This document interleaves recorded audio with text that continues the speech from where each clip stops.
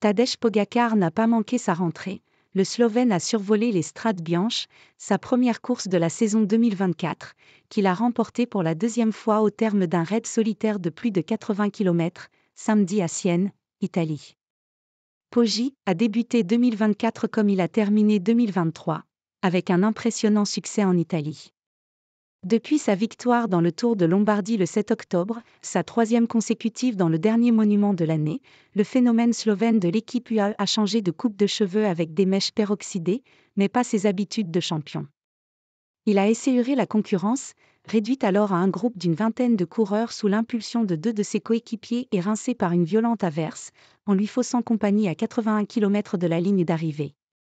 Le Slovène, déjà vainqueur de cette épreuve italienne en 2022, a accéléré le rythme dans le difficile chemin de Monte Santé Marie. Personne, pas même le Britannique Tom Pitcock, Inéo, vainqueur à Sienne l'an dernier, n'a pu lui résister. Il a vite compté 20 secondes d'avance, sans pour autant donner l'impression d'être à 100%. Sous le soleil revenu, le double vainqueur du Tour de France, le vélo maculé de cette poussière blanche des chemins toscans, a poursuivi son effort et a rapidement fait abdiquer ses poursuivants, relégués à plus de deux minutes. Rallongée de 30 km, l'édition 2024 des Strades Bianches a ressemblé pour Pogacar, tout sourire dans le final, à une simple sortie d'entraînement au travers des superbes collines toscanes jusqu'à son arrivée sur la monumentale Piazza del Campo. Abandon Philippe. Personne sans doute ne s'attendait à ce que j'attaque si tôt, je voulais durcir la course rapidement, l'équipe a fait du super boulot, mais cela a été une course difficile, a-t-il jugé.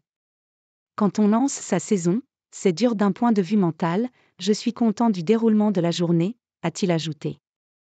Il a fallu attendre plus de deux minutes pour qu'il découvre l'identité de ses deux voisins de podium, le laiton Tom Scugin, Lidl Trek, deuxième à 2 minutes 44 sec, et le belge Maxime Van Gil, Lotto, troisième à 2 minutes 47 secondes.